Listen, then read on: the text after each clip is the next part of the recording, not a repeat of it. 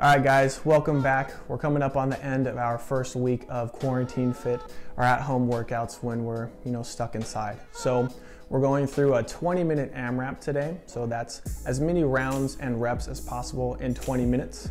And we're gonna cycle through three movements. Each time we finish a round, we're going to add five reps to each movement.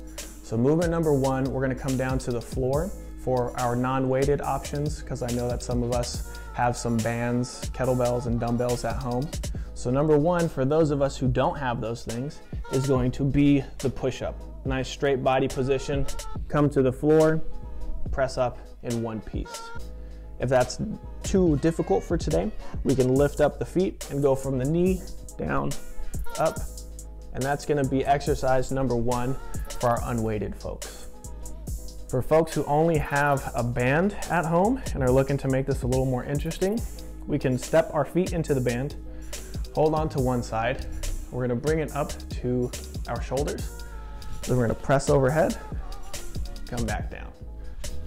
So instead of those 10 push-ups, we're going to do 10 banded presses.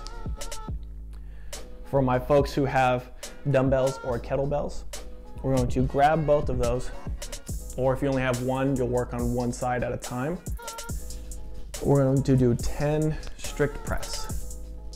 If you have really heavy dumbbells or kettlebells and you need to use your legs, we can go push press to get a little movement from the knee, drive, press. That's movement number one. Either push up, push up from the knee, banded press, strict press, or push press. Movement number two, we're gonna get into everybody's favorite, the burpee.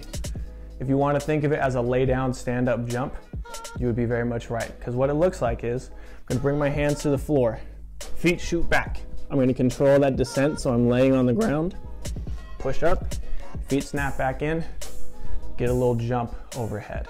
If that's too difficult, I can bring the hands to the floor, step, step, down, step, step, jump.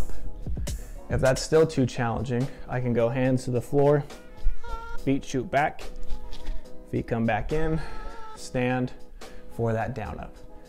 That is the option for both our unweighted folks and our weighted folks. Last but not least, we're gonna get into a little core exercise called the dead bug. Again, we are gonna split here for our weighted people and those who do not have weights. So, we're gonna find ourselves on the ground as if we got knocked over in a chair. So knees are at 90, arms are up. I'm gonna send the opposite leg and opposite arm out at one time, trying to keep that back always on the ground. So I'm never getting here, okay? So once the arm and leg go out, we're gonna come back in, switch to the other side. For my folks who have a dumbbell or kettlebell, you're going to grab that hold it with two hands.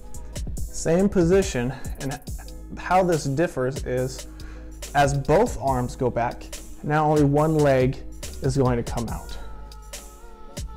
This is going to put a lot more stress on the abs and on our arms.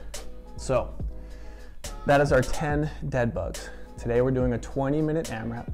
Again, that means as many rounds and reps as possible in 20 minutes. 10 push-ups, or 10 banded presses, or 10 dumbbell presses, or kettlebell. Then we're doing 10 burpees or 10 down ups. Then we're doing 10 dead bugs, either with or without weight. Next time through, you're gonna do 15 of each, then 20 of each, etc. Okay, let me know how it goes. Send this to a friend, share, like, subscribe, and I'll see you guys tomorrow for our next workout.